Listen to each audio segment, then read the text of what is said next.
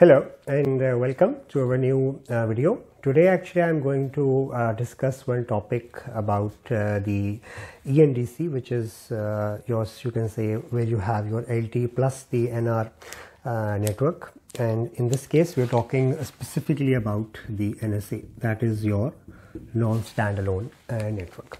So in the NSA networks sometimes it becomes very important to balance the LT and the NR coverage and specifically uh, in the phases where you have just started to deploy the NR network or you're in the middle of uh, the NR deployment. And in this scenarios, uh, what usually happens is that, for example, this is your uh, uh, your E node B and your gNodeB is also co-located. So your NR coverage will be something like this. And then you have your LT network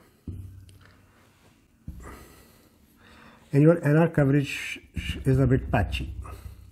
So you can see NR is not covering everywhere, it's, it's, it's patchy.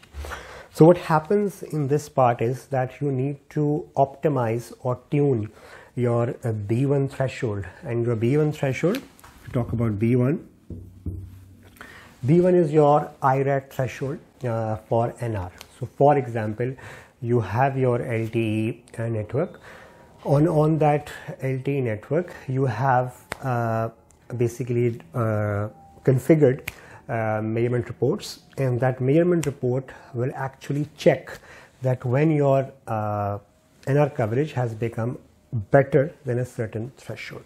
And that threshold is B1. I have described in one of my other videos of coexistence. Will be good to check it out.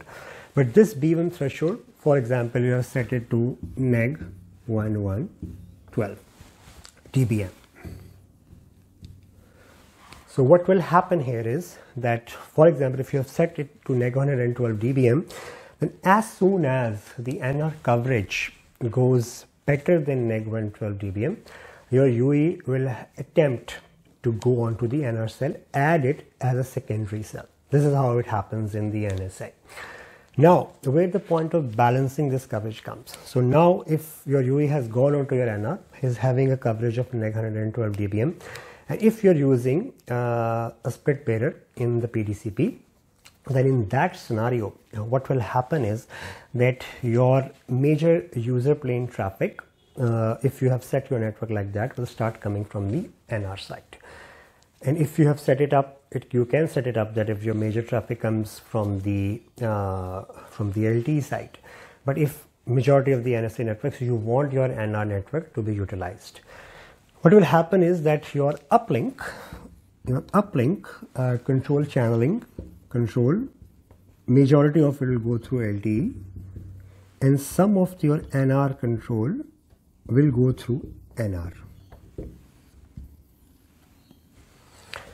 and some of the ACKs also go through the NR uplink. Now, if you are, uh, for example, in uh, LT band uh, between under 200, under 2000 megahertz, for example, you are in your band 3, band 1, if you are in your uh, low band LTE, but your NR is in the 3.5 uh, to 3.6 gigahertz of band, then your the propagation loss on your NR will be significant and that's why once you attach to this NR network, once you start moving towards in this patchy coverage, there will be points where your NR coverage will further degrade.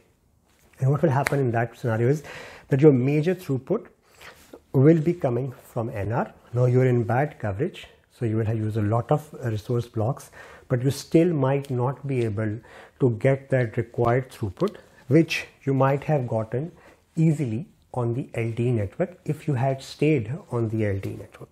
So now this is a this is you can say an optimization problem where you want to tune your network thresholds and you want to tune your network performance so that it balances that where to use LTE and where to go to your uh, NR. So there's a balance between that if you do it to, uh, to passively, then the deployments that you have made in the NR, your NR might not be that much utilized. Then there's your on the other side that you uh, uh, aggressively uh, make your B1 threshold very low, but uh, then what will happen? You will go to NR very quickly, but you might not be able to get that throughput in your cell edge areas. You might have been better served off uh, with LTE. So what happens in the end is that your user experience will suffer if you make it very you can say you make it very low or you make it very high. So you have to find that balance point and that balance point you can find uh, by using drive testing. You can uh, have your UE on a one UE on NR and you can have your one UE on LTE and then you can compare that which points in this particular area were which LTE user was being served better and which points were where your NR user was being served better. And using that data, that data set, and of course, whichever uh, whichever supplier you are working on, using those uh, the parameters from that vendor, you can then combine that data set and then see that what will be the best strategy where you go on the NR network, you leave the NR network, you move back onto the LTE network, and how you balance it out. Another very important balancing is in the indoor uh, coverage. So usually uh, uh, the indoor propagation losses are even higher than if you're in the outdoor. So if you have set up certain uh, parameters, certain thresholds, then you need to look that if your E or G node base serving a particular indoor areas, indoor arenas, then you need to see that is your B1 serving you the purpose or it's better served to by the LTE network and of course LTE networks are usually more congested. So you need to find that balance point but definitely use this parameter use this data set and use this uh, strategy that I have told you to find that uh, balance point because in the end uh, the operators uh, the suppliers all of us want the networks to perform at the optimum level and of course there are a lot of investments already done on the LT side and of course the investments are being done on the 5G side we want to get the maximum out of it still we have in the ENDC. One more point that I wanted to discuss was about the uplink. So if you go into low coverage areas, your NR uplink will suffer significantly because it's on a way higher uh, frequency.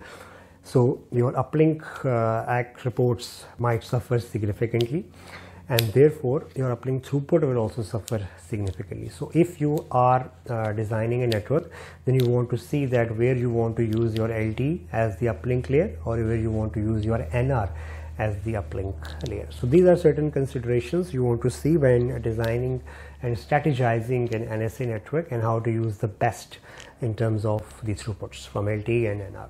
I hope uh, you like this uh, video and if you like it, please share it and subscribe to the channel and leave any comments that you want to address a particular area. Thank you so much and see you next time.